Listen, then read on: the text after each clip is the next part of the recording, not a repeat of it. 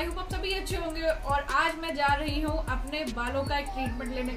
आपने देखा ही है कि मेरे हेयर्स की लेंथ कितनी ज़्यादा है, मैं आपको दिखाती हूँ। अभी मैंने जूड़ा किया हुआ है और आज से शायद अब पता नहीं कितने टाइम के लिए मैं जूड़ा छोड़ने वाली हूँ। और this is my hair length और हेयर लेंथ तो ठीक है बट काफ़ी ज़्यादा रफ हेयर हो रखे हुए हैं मेरे और काफ़ी प्रॉब्लम है। अब कीरत की वजह से काफ़ी ध्यान भी नहीं दे पाती हूँ। और पहले मैं एक तो वीक में दो से तीन बार वॉश करती थी बट अब तो अगर ऑनेस्टली बताऊँ ना विंटर्स में कीरत ने कीरत को फ़ीड कराना है तो उसको सर्दी में लग जाए, ये ना हो जाए तो मुझे कई बार लगता था कि टू टू वीक्स में अपने हेयर वॉश नहीं कर पाती थी। तो मुझे मैनेज करना काफ़ी डिफ़िकल्ट हो गया था। तो आज मैं जाने वाली हूँ हेयर स्मूथनिंग के लिए और जो यहाँ का जलंधर का पार्लर सलून है हॉलीवुड सलून।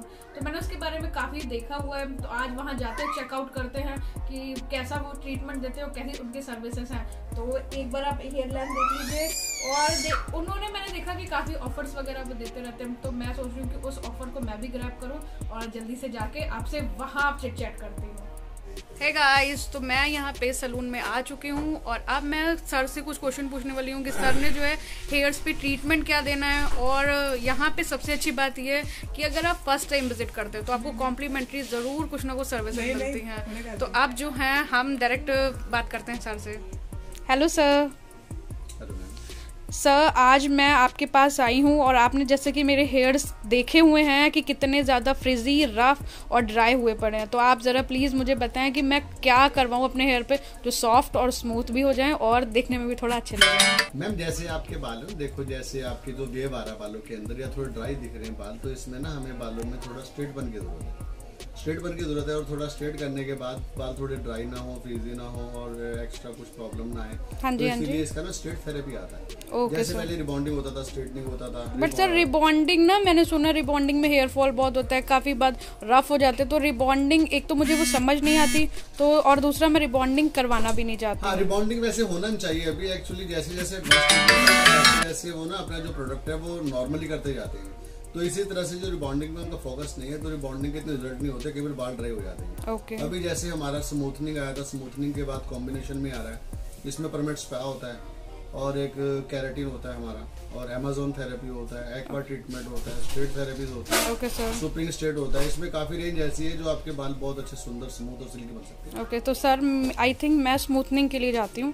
स्मूथनिंग हाँ, अगर आपने करानी है तो उसको विद स्पा कर सकते हैं परमानेंट स्पा देके उसमें बाल ड्राई नहीं होंगे वो बहुत सस्ता भी पड़ेगा आपको बहुत अच्छा भी होगा। ओके सर मतलब मेरी जैसी जो हाउस वाइफ है वो इस चीज़ को वो ले सकती है ना उनके बजट में तो होगी ना? हाँ हाँ बिल्कुल बिल्कुल ले सकते हैं। जैसे उसमें आपका नॉर्मली स्मूथनिंग का काफ़ी हमने प्राइस कम रखा हुआ है वैसे तो महँगी मार्केट के अंदर। ओके ओके तो स्मूथनिंग ले सकते हैं उससे अगर बाल बेटर बनाने तो उसमें कैरेटिन कॉम्बिनेशन भी ले सकते हैं और स्पा भी ले सकते हैं ओके सर तो एक बार ज़रा आप अपना एड्रेस बता दें मेरे व्यूअर्स को ताकि अगर वो जलंधर हैं या फिर वो जलंधर के आसपास हैं तो प्लीज़ प्लीज़ गाइज़ एक बार यहाँ पे ज़रूर विज़िट कीजिए और सर से मिलिए। और मुझे सर से बात करके ही बहुत बहुत बहुत अच्छा लगा है। तो एक बार सर आप अपना एड्रेस बता दीजिए। मैम हमारा पड़ता है ninety three Mohinder chamber.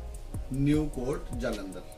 Okay. Court है हाँ यहाँ पे है कांग्रेस भवन उसके बिल्कुल साथ ही। Okay okay. तो चलिए सर स्टार्ट करते हैं प्रोसेस हाँ जी। Okay thank you sir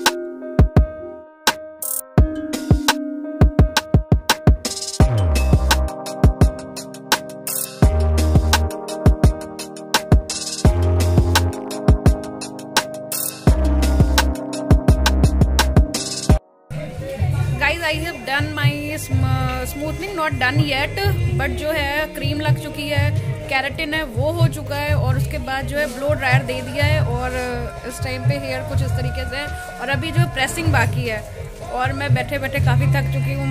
Kirat घर पे है, अपने डैडी के साथ, वैसे अभी थोड़ी देर पहले पार्क में खेल रहा था बट अब वो भी काफ़ी ज़्यादा थक गए थे तो इसलिए वो उन दोनों ने डिसाइड किया कि हम जो हैं, हम घर चले जाते हैं। तो मैंने कहा, ठीक है, आप घर चले जाइए। तो घर पे वो लोग रेस्ट कर रहे हैं। अब मुझे देखो मे बी टू आवर्स और लगने वाले and let's see final result क्या आता है।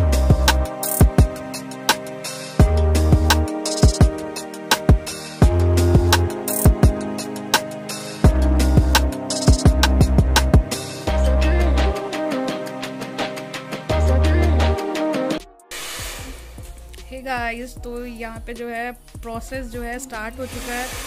ब्लो ड्रायर हो चुका था, उसके बाद का प्रोसेस है। तो उसके बाद का प्रोसेस सर बताएँगे कि सर क्या कर रहे हैं। सर आप क्या कर रहे हैं? हम स्मूथिंग कर रहे हैं का सेकंड स्टेप कर रहे हैं स्ट्रेचिंग कर रहे अभी इनकी। तो फाइव टू टेन मिनट लगेंगे इनको। देन थर्ड करेंगे वो फाइनल तो सर तो अब ज़्यादा टाइम नहीं लगने वाला है ना? हाँ जी हाँ जी नहीं ज़्यादा टाइम लगेगा। हाफ़ एन आवर लगेगा ज़्यादा। जल्दी फ्री कर देंगे। बहुत देर से मैं बैठे बैठे थक गई हूँ बट थैंक्स टू सर कि सर बोल रहे हैं अब जो है जल्दी करने वाला। इन वाले सर ने शिवा सर ने मेरा स्टार्ट किया था। सर प्लीज़ हाय बोल दीजिए। और ये जो है दूसरे हमारे सर हैं ये इनको हेल्प कर रहे हैं। सर आप भी हाय बोल दीजिए। तो ये जो है, ये सारे मुझे हैंडल कर रहे हैं एंड नेक्स्ट सर्विस से जिन्होंने अभी आपको बताया तो आप जो है ये प्रोसेस हो रहा है। जल्दी जल्दी प्रोसेस पूरा हो एंड उसके बाद मैं आपको फाइनल रिज़ल्ट दिखाती हूँ।